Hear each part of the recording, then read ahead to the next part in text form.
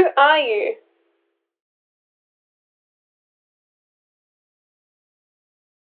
Hey everyone, and welcome.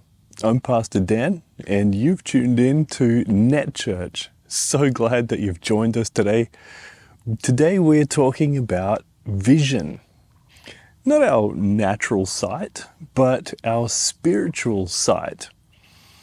You might have heard the saying, I see, said the blind man. It's as clear as mud.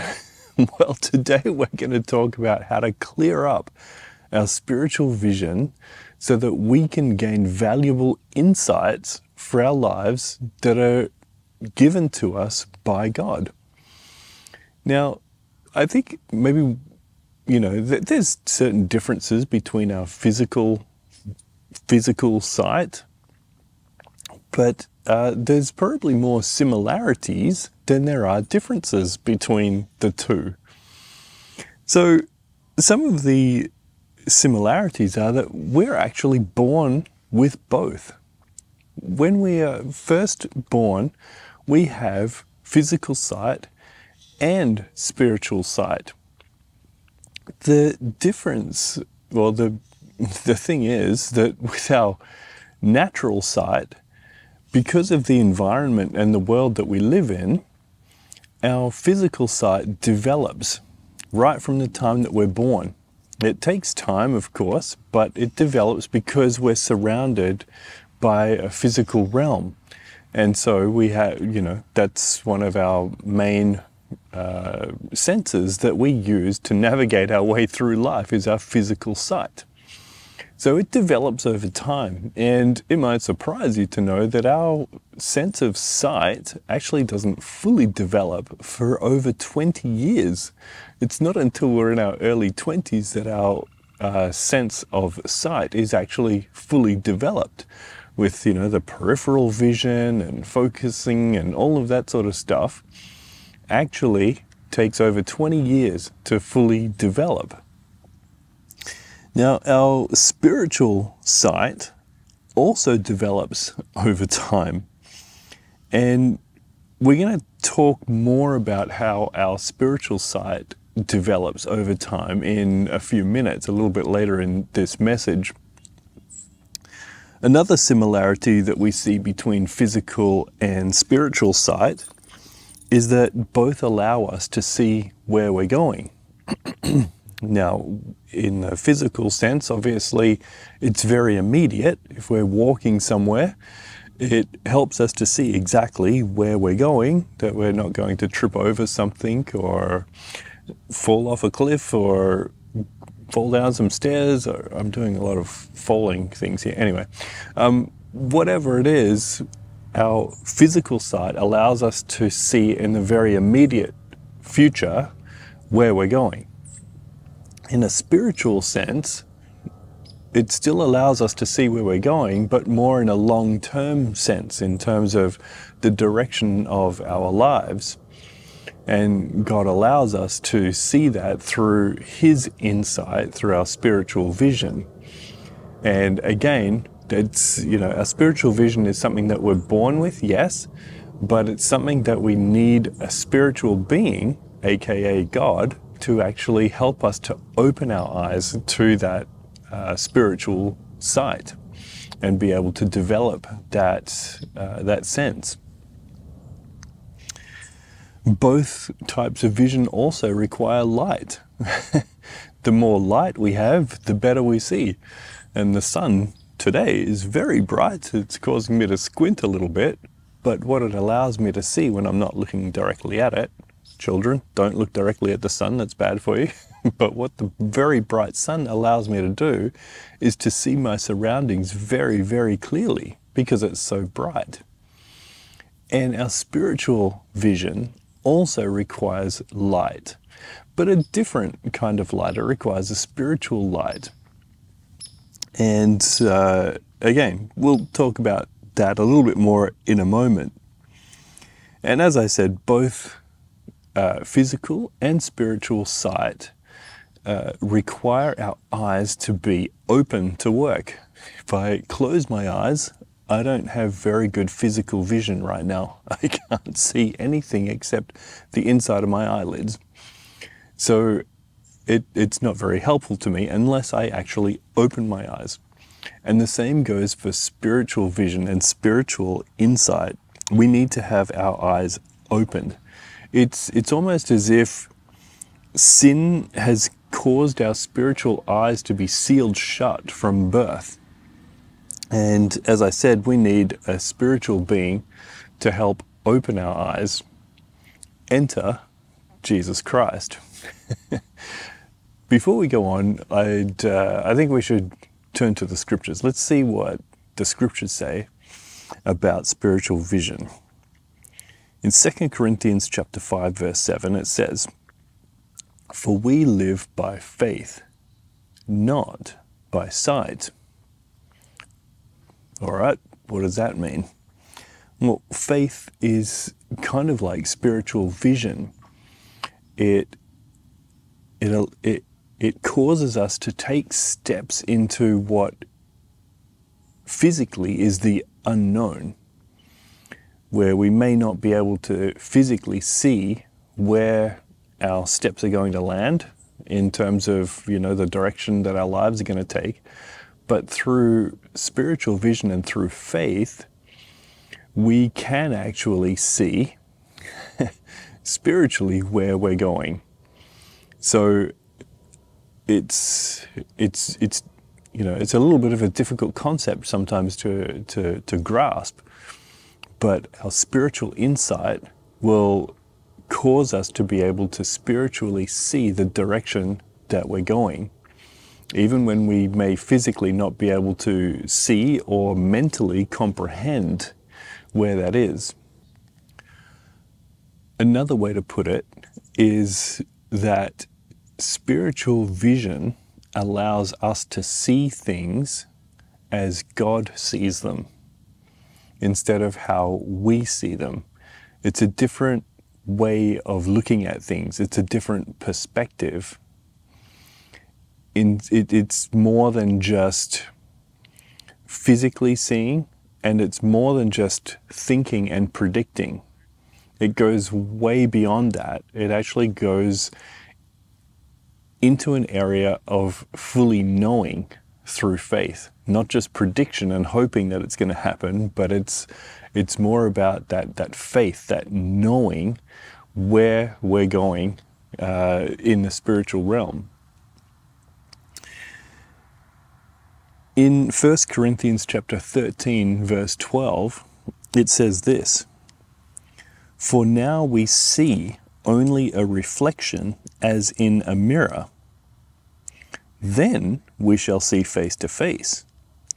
Now I know in part, then I shall know fully, even as I am fully known.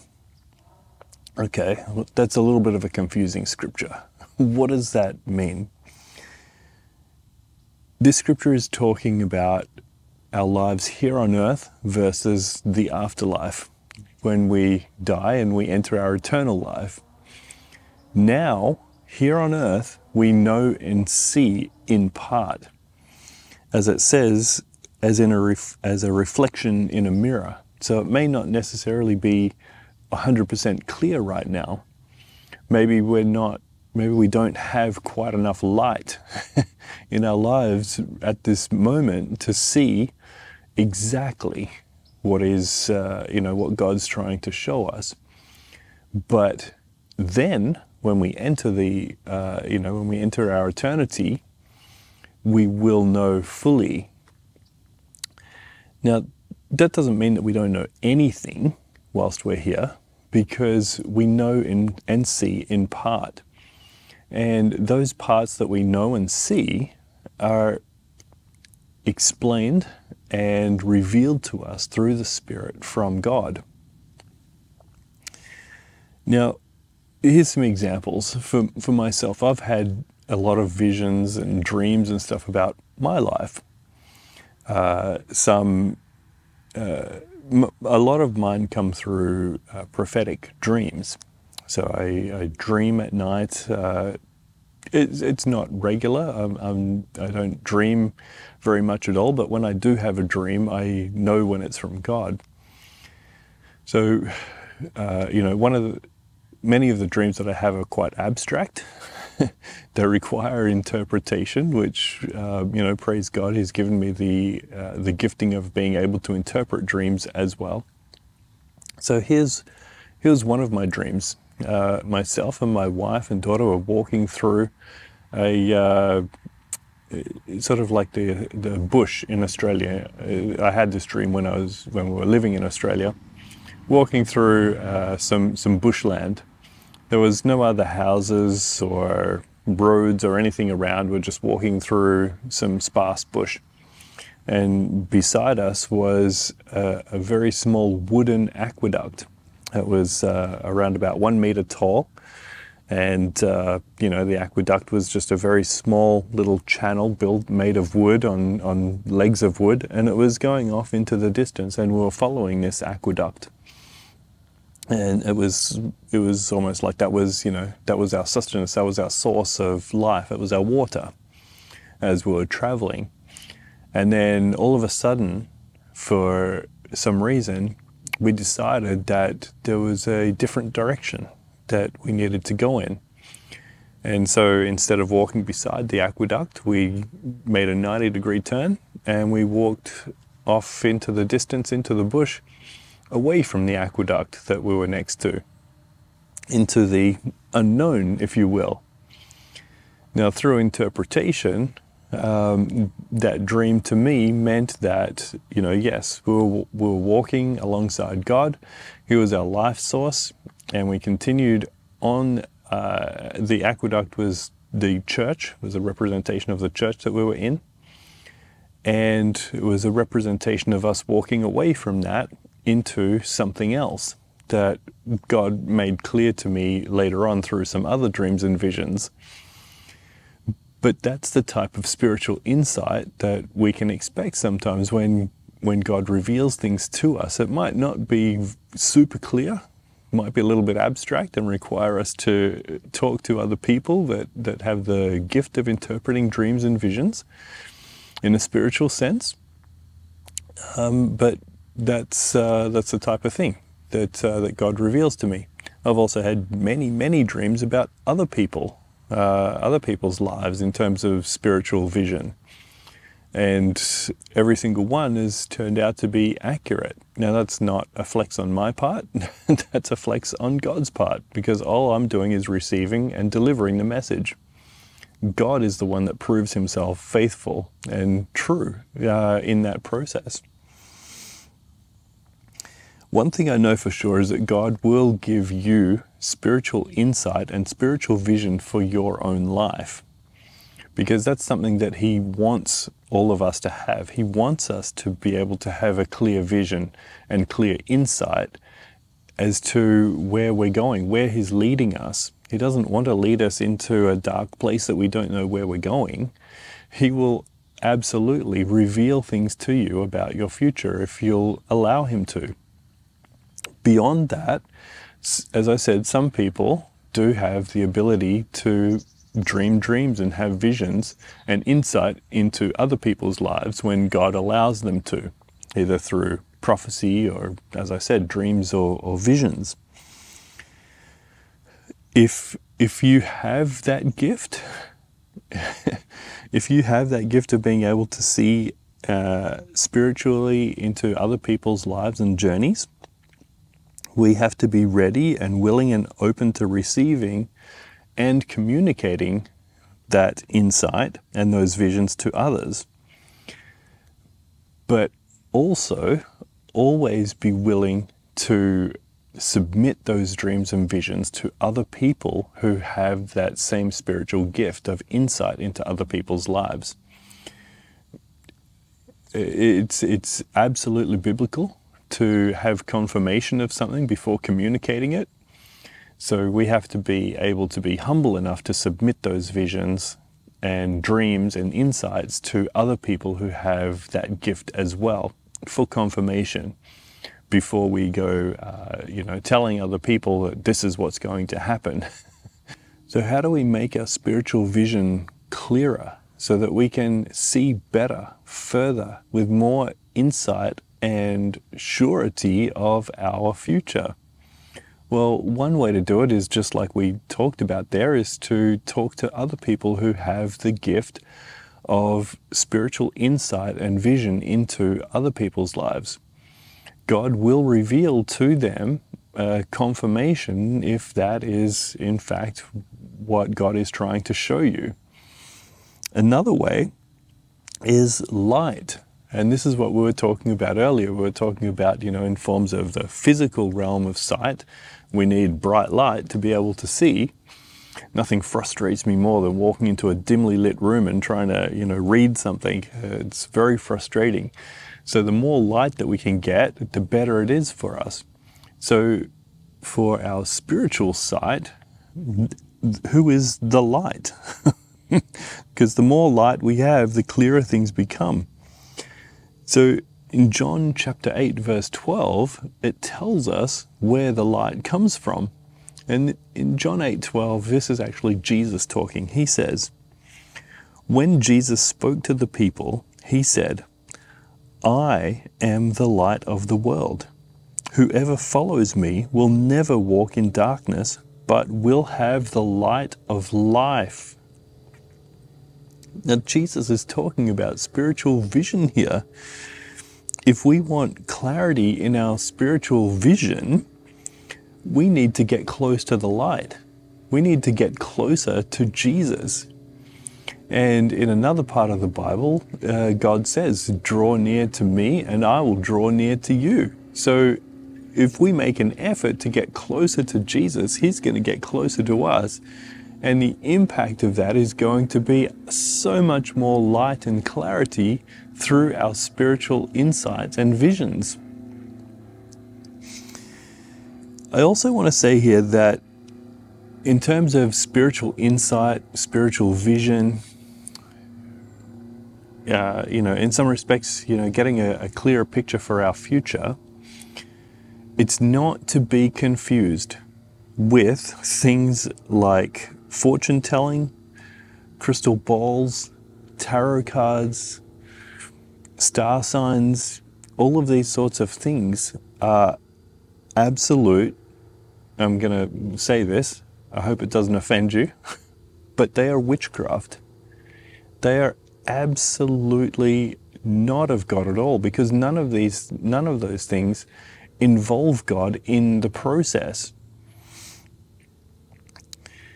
They will lead you down a very, very dark path where there is no light at all. And in fact, where you end up is in such a dark place that you end up stumbling around in the dark until the unfortunate bitter end. it's a tool that the enemy uses to fool you into thinking that you're getting insight into the future, where in fact he's leading you into a place where it's complete and utter darkness. So if, if you are in that place, if you've gone down that path, about face 180 degrees and get out of there as soon as possible is my encouragement to you. I know many things about my future through spiritual vision and spiritual insight. I don't know it all, but I know a lot. I find the closer that I get to Jesus, the light, the more time I spend with Him, the more that gets revealed to me and the clearer things become. I also want to point out at this point that I am no more special than you. I am not a, a superhuman. I'm not, you know, uh, chosen by God in any way that's more special than you are. I have my gifts, uh, preaching, teaching, being a father of the faith, uh, you know, spiritual vision and insight, prophecy. But I guarantee you that you also have gifts that I don't have. okay? So don't think that I'm super special or anything about this. You also have gifts. You also have the ability to have and receive spiritual insight for your life. I'm certain that you also have spiritual eyes that Jesus can open. And if they already are open, open even further and shed more light uh, on your situation for your future. To close today, I am going to pray, but it's going to be a little different. I'm going to pray a scripture uh, from Ephesians that speaks so insightfully into what we've been talking about today. I think it's something that uh, that speaks to me, and I hope it speaks to you. And so, anyway, I'm just going to get into it. I'm going to pray this over all of us. Again, this comes from Ephesians chapter 1, verses 18 and 19. I pray that the eyes of your heart may be enlightened, in order that you may know the hope to which he has called you, the riches of his glorious inheritance in his holy people, and his incomparably great power for us who believe. Amen. Well, worship is right after this, so don't go anywhere. We've got some great worship coming up.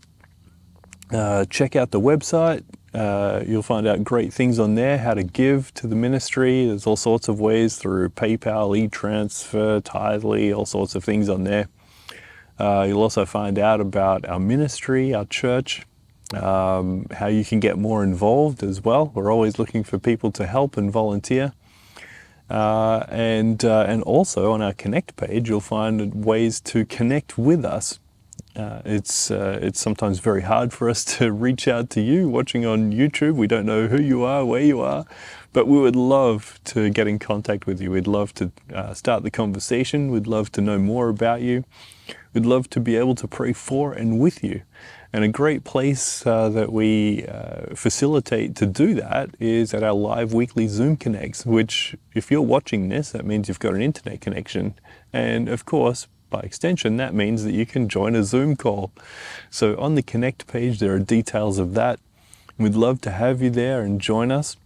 Um, where we talk a little bit more about the message and we all discuss it together and learn from each other as well as from God, of course, and, uh, and have a great time of prayer.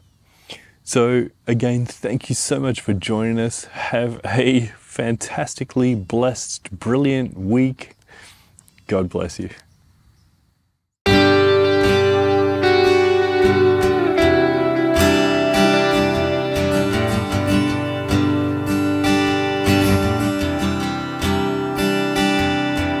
Cast your cares on the Lord, He will never let you down. For God is love, love, love, love.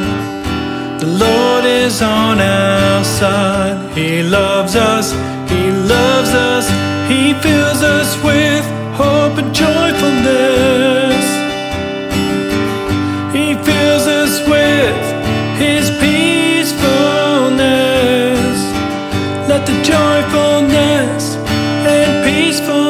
Flow over us now.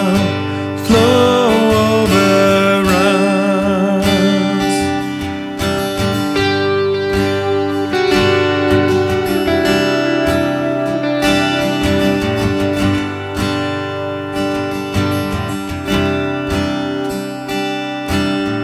For God is good always. For God is good without fail. And His mercy is everlasting. The Lord will fight for you, fight for you. We only have to be silent. He fills us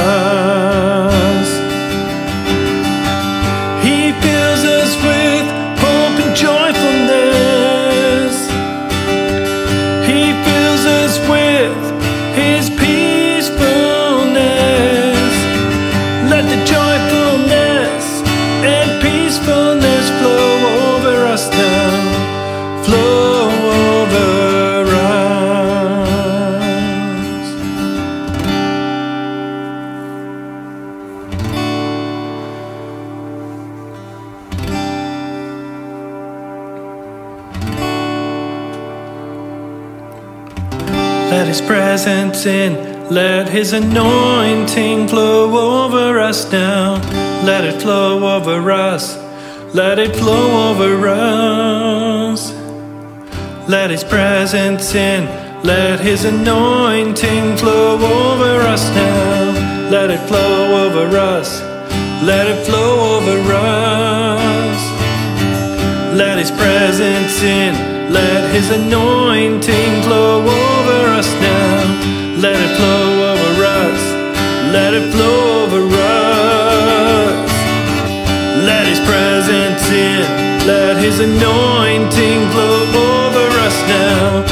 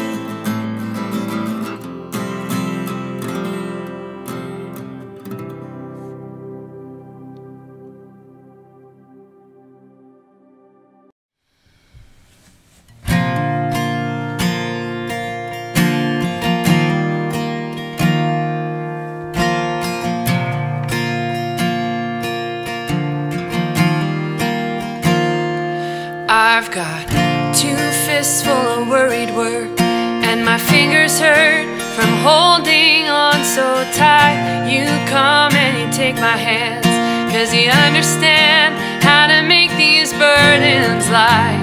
Your love is such sweet relief.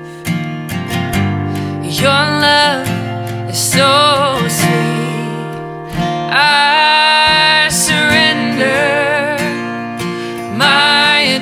agenda.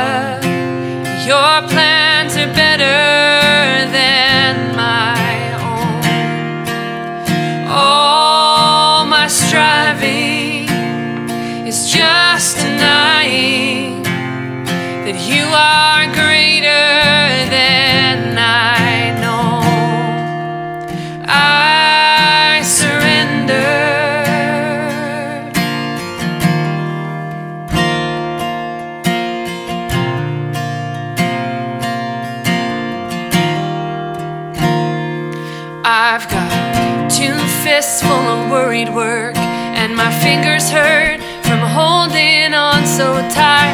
You come and you take my hands, cause you understand how to make these burdens light.